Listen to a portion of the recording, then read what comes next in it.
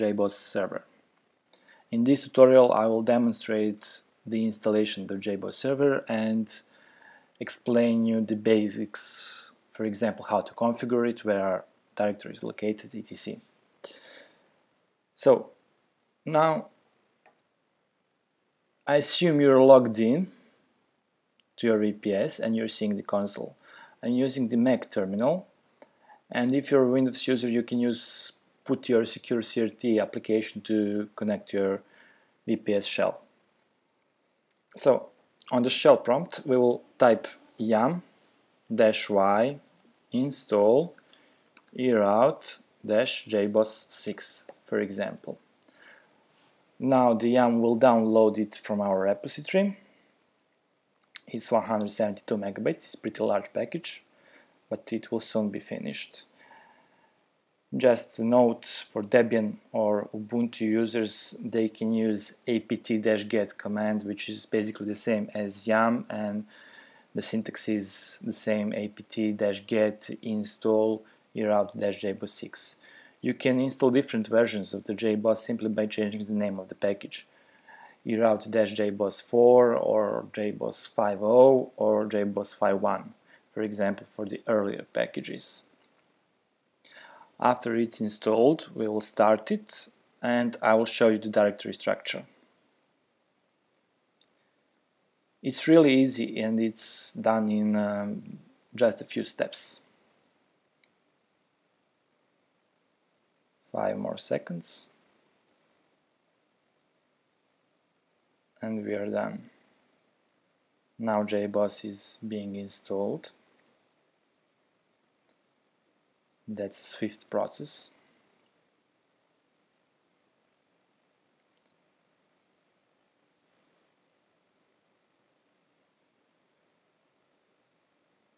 Alright, now we will start the JBoss server. Service JBoss 6 start as we have on the short text that's displayed after the installation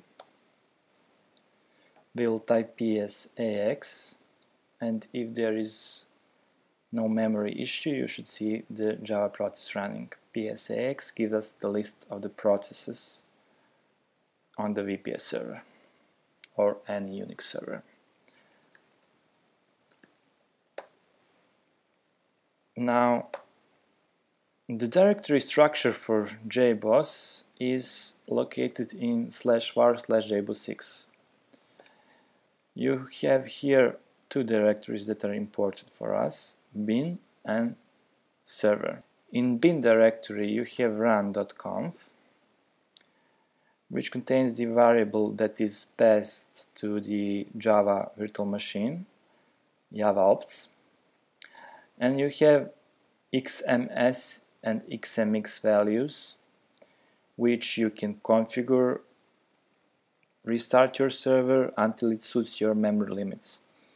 For example, XMX, which represents the maximum stack allocated by Java process, is currently 512 megabytes by default, and max perm size is 256 megabytes. You can change those values however it suits you. Now the server directory has default subdirectory and inside you have the log. And if we use tail-f server log we can monitor that log. It says here that JBoss is started in 45 seconds. That means that JBoss is running and we can access the console.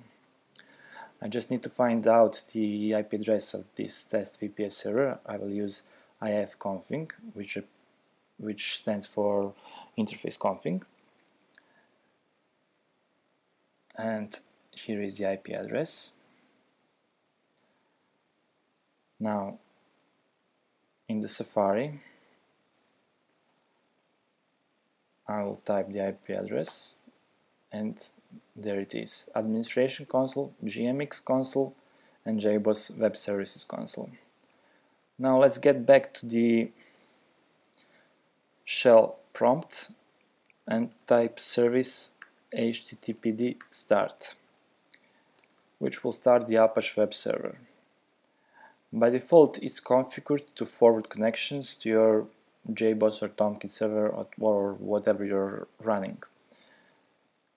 It enables us to simply remove this 8080 port and access JBoss directly from its IP address or host name or whatever you're using.